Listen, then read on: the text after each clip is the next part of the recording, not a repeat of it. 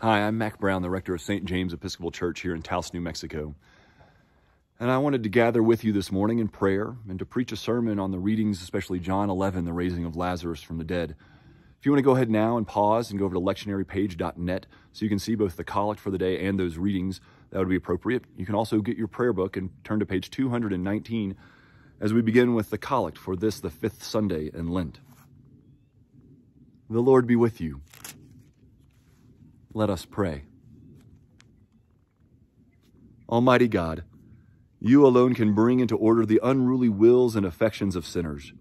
Grant your people grace to love what you command and desire what you promise, that among the swift and varied changes of, of the world, our hearts may surely there be fixed, where true joys are to be found. Through Jesus Christ our Lord, who lives and reigns with you in the Holy Spirit, one God, now and forever. Amen. What a collect. What a collect and what a time we find ourselves this, the fifth Sunday in Lent in 2020. The swift and varied changes of the world. I don't know if I've felt that more any other time than this year as news continues to come in and we are uncertain of where we'll be in the days ahead. And yet I am reassured that again, God calls us to focus on the thing we're to focus on the unchanging and unabridged, unabated, redeeming love and grace of God. That even today, as we fast from what is known and what is comfortable, we stand in that loving embrace that God's love does not change. I don't know if you all know this about me, but I have an affinity for bumper stickers. I like how they can uh, be completely ridiculous or, or completely accurate in so few phrases. And one of my favorite ones is one that I don't, not even sure I, I've seen but one from our American history. You may recall it from the mid late 70s and early 80s. And it honestly is one of the most theologically accurate bumper stickers I've ever seen. It's two words and an exclamation point.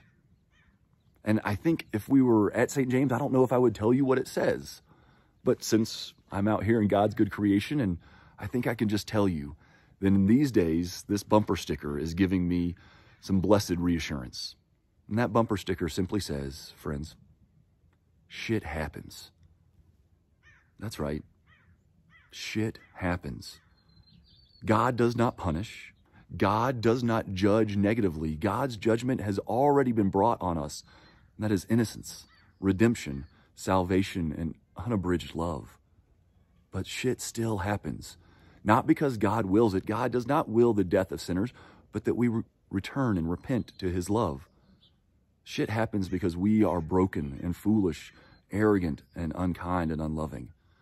And so in these days, when so much of the news focuses on the bad news, I want to remind you of the good news that God's grace and love is still abound, abounding for all of us to find.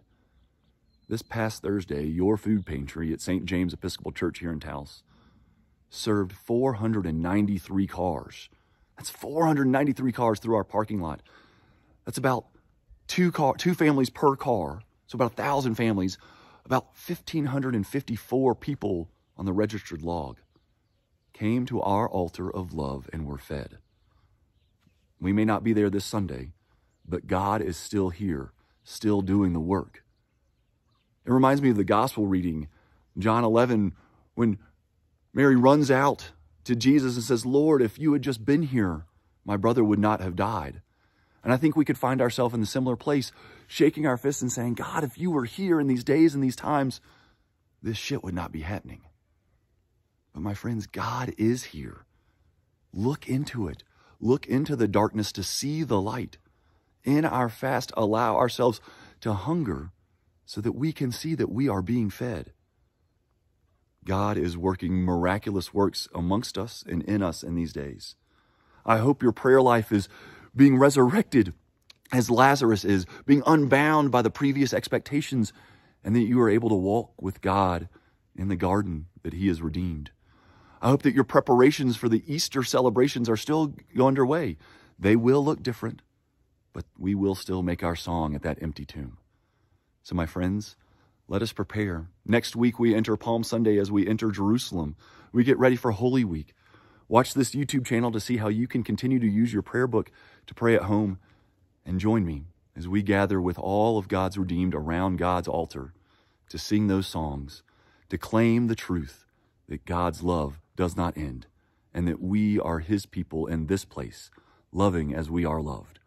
In the name of the one who loved first, Father, Son, and Holy Spirit. Amen.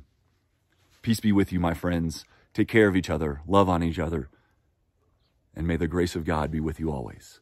Amen.